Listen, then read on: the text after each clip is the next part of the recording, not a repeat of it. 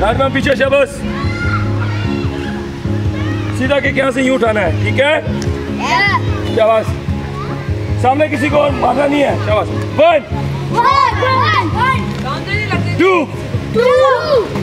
three four five हाथ ऊपर। Six seven